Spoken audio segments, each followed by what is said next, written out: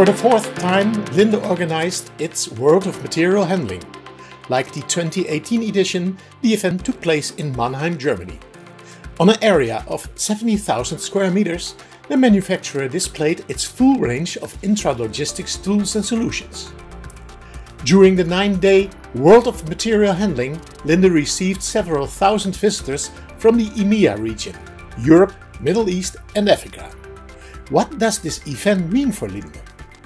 For us, it's the most important fair we have because our product portfolio is so huge. Our solutions become bigger and bigger.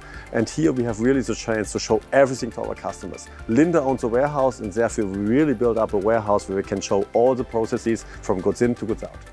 In the main hall, Linde showed the complete flow of material handling of a beverage bottle manufacturer. At different process stations, the visitors saw all possible solutions of Linde to make the flow as efficient as possible. Of course, the most recent innovation, as recently shown at the LogiMAT in Stuttgart, were also on display in this program. Like the new ultra-compact pallet truck with its fully integrated lithium-ion battery, the Linde Energy Manager to manage everything around electric energy consumption, and the large E-Series electric trucks up to 16 tons. There was also a lot of attention for the 3.5 to 5 ton H-Series with combustion engine. The electric version of this series we probably launched next year. But the novelty with the biggest impact was something different, wasn't it, Stefan? My personal highlight is Linde Steer Control, because we can show how ergonomic steering of a forklift truck could be. And we are really surprised the feedback of our customers is great and the queues to test drive it are very long. With Linde Steer Control, Linde offers an alternative to the steering wheel. There is a choice of two options, a mini steering wheel or a joystick on the left armrest.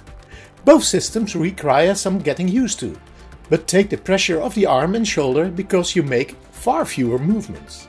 We have driven with the system and experience advantages in the ease of use, although everything could be a bit more predictable.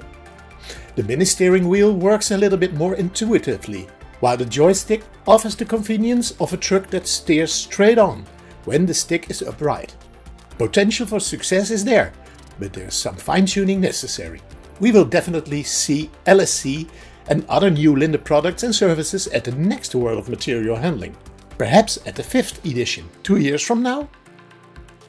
I hope that it's not the last, so we are curious for this format.